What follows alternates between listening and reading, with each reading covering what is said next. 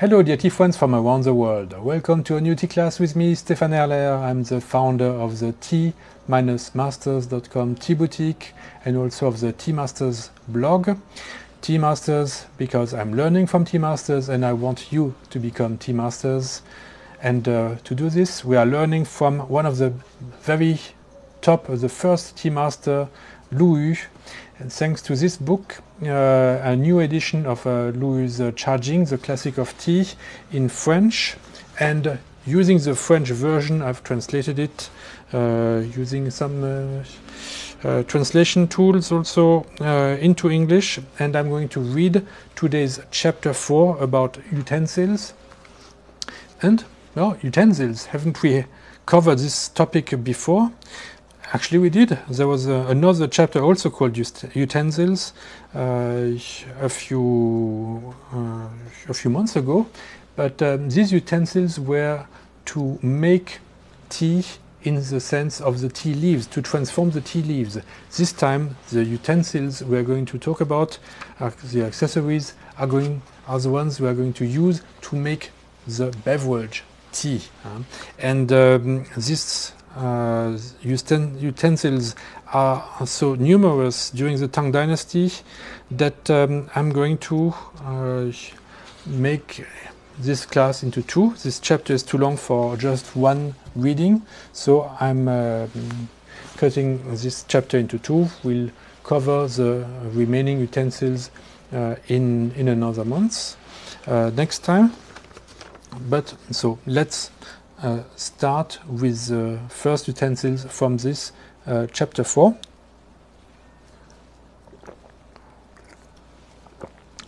Mm, delicious um, high mountain oolong from Shaanxi. And um, after each utensil, I'm going to give you some of my remarks, uh, some explanations, because it's not always clear. Lu is very brief, uh, usually, so um, these utensils sometimes are, are uh, described very briefly and you don't know uh, right away what uh, they're meant for, but don't worry, I'm here to explain all this. So we start with the brazier, Fenglu, and the ashtray, Huicheng. The brazier, made of copper or cast iron, is shaped like the tripods of antiquity. Its walls are three tenths of an inch thick the rim measures 9 tenths of an inch and the interior space 6 tenths. It is coated with clay. The three feet are engraved with 21 characters in ancient script. The first foot bears this inscription Above Kan, water, below Shun, in the center Li, fire. On the second foot it's written May the five elements in our body be balanced and the hundred diseases eliminated. And on the third foot, melted down in the year following the extermination of the barbarians by the Holy Dynasty. Between the feet there are three windows. Another opening at the bottom is where the air passes through and the ashes fall out. Each window is surmounted by a two-character text in ancient script. Above the first window are the two characters Igong, Duke E, above the second Kong Lu, Broth Lu, and above the third Shi Cha, Master T. These six characters form the phrase Duke E's broth and Master Lu's tea. Inside, a support is placed, the top of which is crenellated with three quadrangular projections delimiting three spaces. The first protrusion bears the motif of a pheasant, an animal symbolizing fire, and the figure of the trigram Li. The second has the motif of a tiger, a wild animal corresponding to the wind, and the figure of the trigram Shun. The third is adorned with a fish, an aquatic creature, and the trigram Kan, Shun, governs wind, Li fire, and Kan water. Wind stirs up fire, and fire heats up water. This is why these three trigrams are represented on this brazier. The brazier is also adorned with garlands of flowers, falling vines, winding streams, or geometric motifs. Some are made of, of wrought iron, others of turned clay. The ashtray is made of an iron tray with three feet, which supports the brazier. Okay, so the the brazier is um, in the Tang Dynasty is the ancestor of uh, uh, of what uh, has this function uh, later on during the um, uh, Qing Dynasty.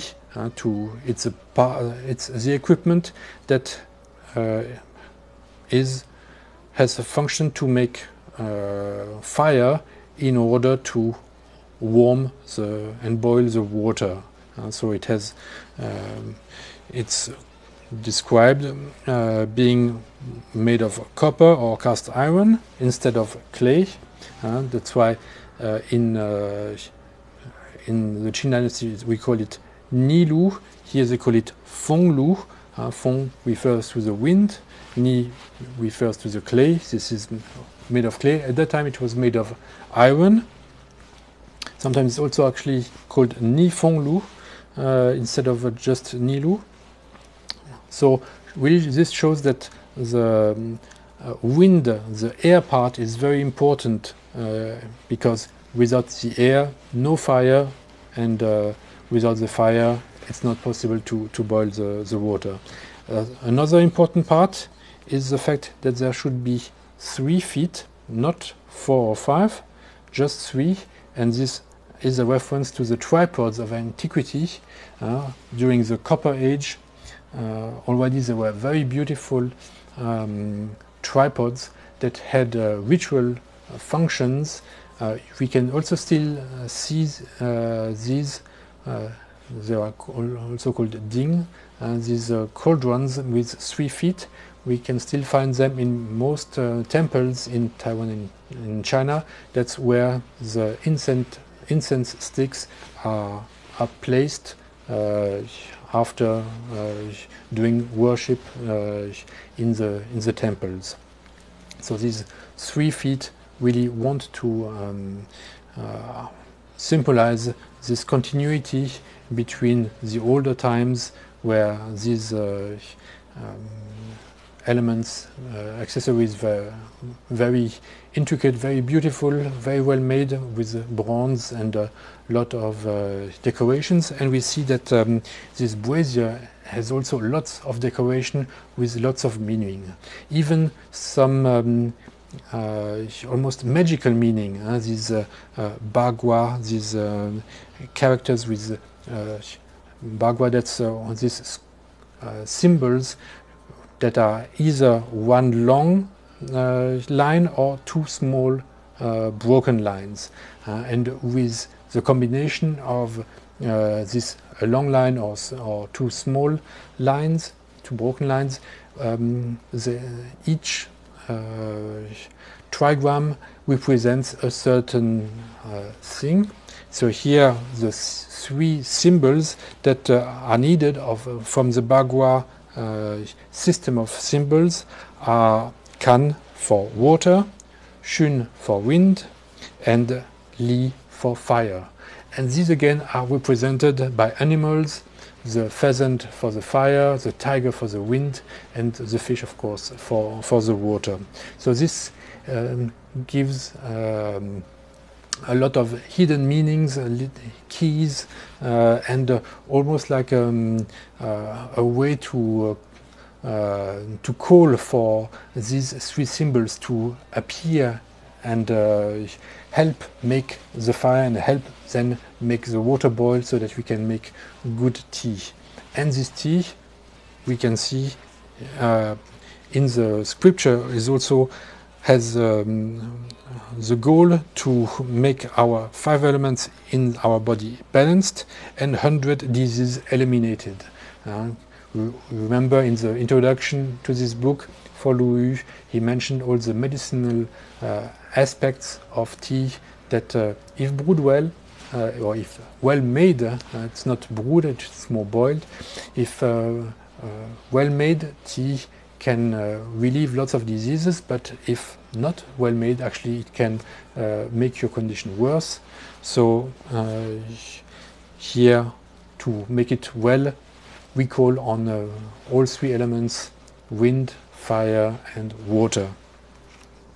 And um, uh, yeah, that's uh, that's about it. We continue with the second uh, utensil that is mentioned, the basket, ju. The basket is made of woven bamboo. It is one foot two inches high and seven inches in diameter. It is also woven from rattan on a wooden frame in the shape of a grain basket. The weave forms hexagonal holes. On the bottom and lid, the protruding ends of the strands are removed. Now here the basket uh, is not clear what its function is. Actually, uh, it comes. It's uh, necessary with the brazier. What do we need with the brazier to make fire? Of course, is charcoal, and this charcoal uh, is put in this uh, basket. Number three, the charcoal club, Tanzhua. The coal sledgehammer, uh, made of iron, has six edges. It is one foot long, its tip is pointed, and its body bulges in the middle. The slender handle has an ornamental ring. It is similar to the maces used today by Helong soldiers. Some make it in the shape of a hammer or an axe as the case may be.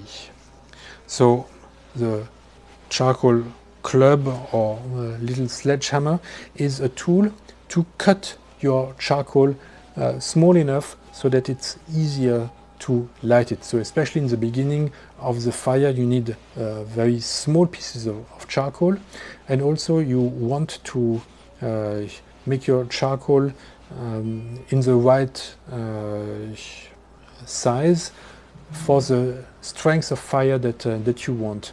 So uh, for this, to, to make your charcoal uh, in the right uh, thickness and longness, uh, you need this little tool to, um, to cut it into smaller pieces. This we can still find nowadays in the uh, Japanese way of tea. Uh, great attention is placed on the size of the of the charcoal uh, and we can see it already it took its uh, origin in the, in the Tang dynasty. Number four, fire tongs, Huojia. Fire tongs are also known as ju, chopsticks. Similar to those commonly used, they are cylindrical sticks, one foot three inches long. The end is flattened. It's neither round like spring onions nor curved like the hook of a lock. They are made of iron or hammered copper. So these fired uh, tongs uh, are the, uh, used like chopsticks and they are used to place the charcoal on the brazier while the fire is still going because uh, you need to add some uh, charcoal from time to time if you, so that the fire uh, does not die down, especially if you want to make uh, several times tea. So in order not to burn your fingers and not to um, make them dirty, you use these fire tongs.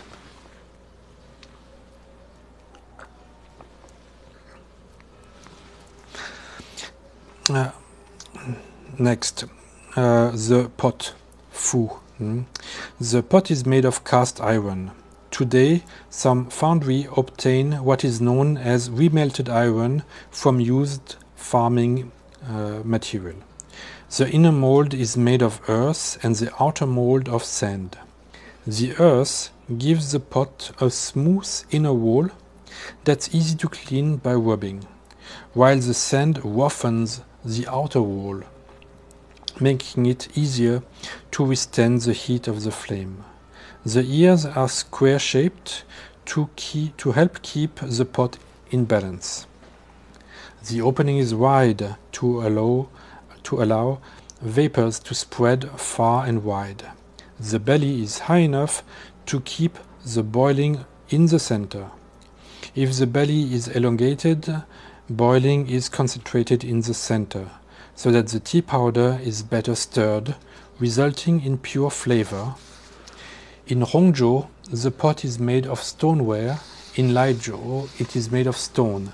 Stoneware and stone kettles or pots are elegant, but lack, but lack sturdiness and solidity, so are not used for long. Those made of silver are of great purity, but they display an excess of sumptuousness. Elegance is appreciated, but so is purity. In fact, for long term use, we end up going back to iron. So here it's uh, quite interesting to uh, have uh, that the pot in which um, tea is prepared, is uh, boiled, is made of uh, cast iron with two different types of um, uh, surface. The inner surface, which is in contact with the water and the tea, must be very smooth so that it's easier to clean. So on the outside is the mold is made with uh, earth, while the outside wall must be more flame resistant, heat resistant, and for, the, for this a rougher surface is better. And we can see this also on uh, our Japanese tetsubin. The outside surface definitely is always very rough, and um, so this roughness is not uh, a lack of um, uh, finesse or elegance. Actually, it has a function already uh, seen by um, Lu to make it more flame resistant. So uh, this uh, outside uh, roughness of uh, cast iron, which are those utensils nowadays that are on uh, contact with uh, the flame uh, is explained already in Lu Yu's charging. Mm. And of course, he's also mentioning uh, um, silver. For him, he feels it's a bit too sumptuous. We saw that uh, there is um, uh, silver tea set from the Tang Dynasty that was found in the Famen Temple in 1987. Uh, but most drinkers and uh, Lu uh, was uh, an orphan who grew up in a monastery. he did not belong really to the wealthy society. They cannot afford beautiful silverware for making tea. So that's why probably he writes that it's uh, still okay to go back to iron, and he gives um, even a trick to make a cost down is to use to reuse to remelt farm uh, equipment, farm accessories uh, into uh, such um, uh, pots. So these these pots um, they are quite deep, and he describes them quite deep, and these are, are what uh, these are placed over this brazier.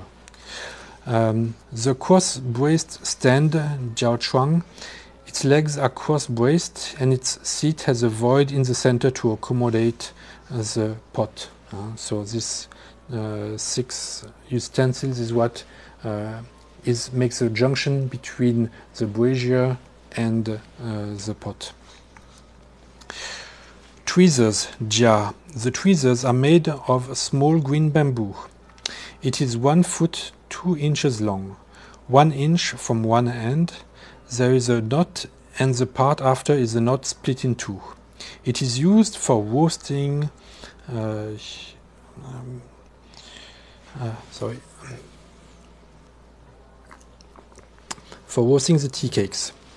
This dwarf bamboo exudes its juices under the effect of the fire, mingling its pure perfume with the tea, whose flavor is thus enhanced.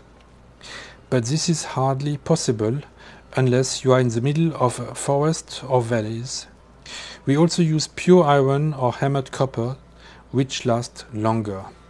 So here uh, we uh, have uh, tweezers uh, to hold the compressed tea cake and it is before it is um, before we turn it into tea it it will be uh, put over a flame um, to roast it or to dry it a bit. Uh, remember, in the Tang, we are in the Tang Dynasty. It's very difficult to, and we're in China, so it's a humid environment. So in order to, um, it's very difficult to keep uh, tea very dry. So by compressing the leaves into a cake, it's already one way to um, keep the um, uh, tea as dry as possible.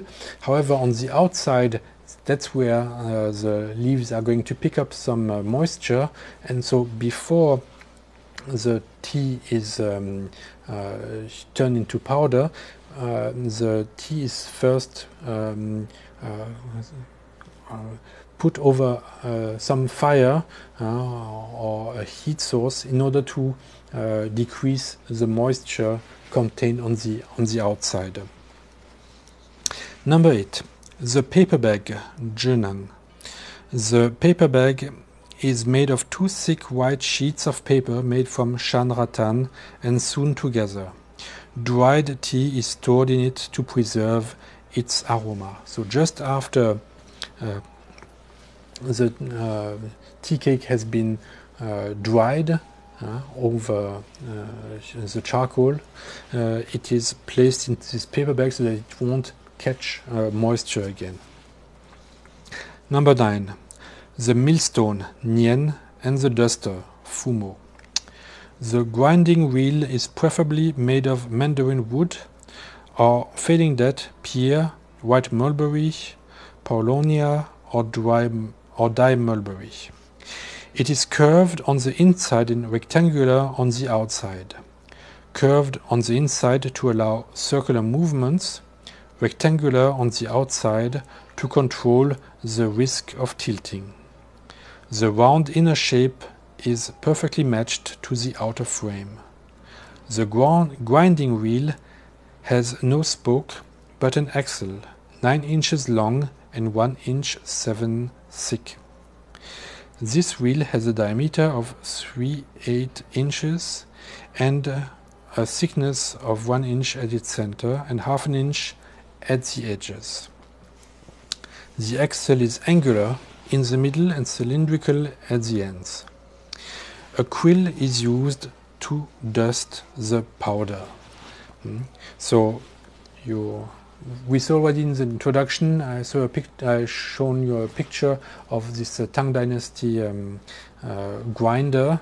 Uh, with uh, that one was uh, made of silver. He says it can also be made of uh, of wood, and um, says that mandarin wood is the best wood that can be chosen. and then you grind the the tea from the cake to powder, uh, but it won't be grinded as uh, thoroughly as during the Tang dynasty, uh, as during the Song dynasty or for matcha uh, later on. Uh, this way of grinding um, leaves it a bit, uh, makes it a bit larger than during the Song dynasty. However, it is still um, sieved, and we will see with this next item the sieve, luo, and the box, he. The powder is sifted and stored in a box with a lid, in which the measure is also placed. To make the sieve, a huge bamboo is cut, bent, and dressed in a fine silk gauze. The box is made from a bamboo knot or an elegant araucania band that has been lacquered. It is 3 inches high with 1 inch for the lid and 2 for the body. Its opening is 4 inches in diameter.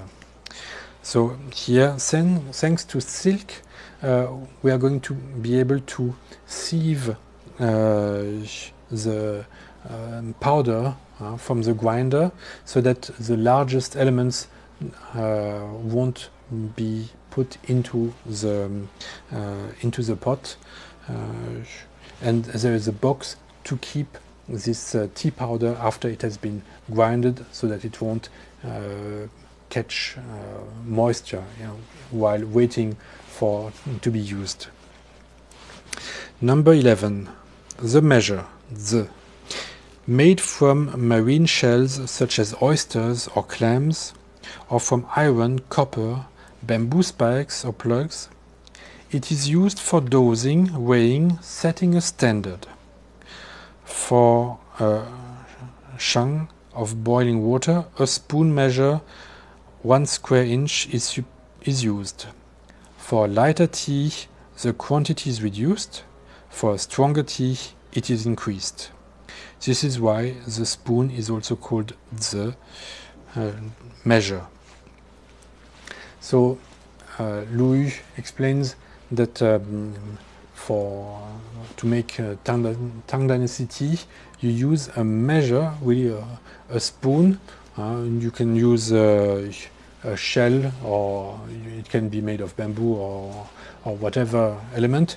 Um, it should be a certain size, and once you have this standard, you know that if you want to make your tea stronger, you add a little bit more and if you want to make your tea lighter you can make less. So this st standard does not mean that all the teas that you brew have to be the same ratio of uh, tea to water but it helps you determine what is a standard measure and then how strong you want it less strong or more strong. So already uh, in this time I think uh, uh, Lu Yu explains quite uh, quite clearly that he's against uh, one formula of T to ratio standard. This standard has to be uh, appreciated by each person, maybe depending on the tea, depending on the season, depending on the mood. Is it the morning or the evening? Uh, the standard gives you a guide uh, but it's still your appreciation if you want to make the tea light or strong. You don't have to use a standard uh, to, to always make your tea at the, same strength. So uh, I think this is uh, also a very interesting part in this. Uh, this is half. These are half of the utensils from the chapter. So I'm coming. I'm going to close today's lesson here and in one month approximately we are going to continue uh, reading from this chapter all the other utensils one of which will be the very important tea bowl um, today we are using teacups but uh, in, those times in uh, Tang Dynasty Lu Yu they were using tea bowls and uh, we're going to see what is Lu Yu's opinion on these tea bowls. This still has its importance for today. Uh, so thank you very much for uh, your interest and your uh, companionship. Mm. I've done some new um, postcards for this year thanks to your votes on uh, Facebook on my best pictures for last from last year. These are the two photos and uh, pictures that have been turned into postcards. As you can see, I will, uh, with each order, give a, a set of uh, such postcards. With your order, I start with um, last uh, with the earliest postcards that I still have in uh, in stock, and um, this is for those who have already received all the other postcards before please give me also thumbs up if you like this kind of uh, uh, tea classes. Uh, I want you to become the new tea masters uh, and subscribe to the channels if it to the channel if it's not yet made and um, see you next week for another T class and have a great Sunday.